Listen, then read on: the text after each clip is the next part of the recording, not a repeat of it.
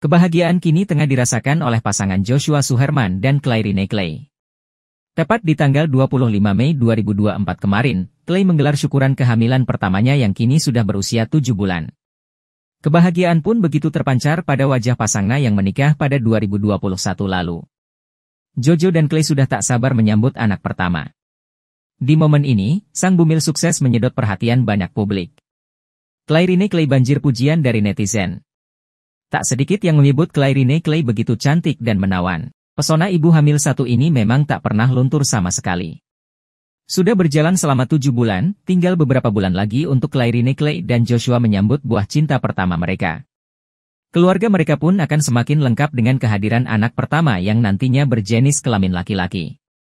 Clairine Clay juga sudah mengungkapkan kalau ia akan melahirkan anak laki-laki yang sehat.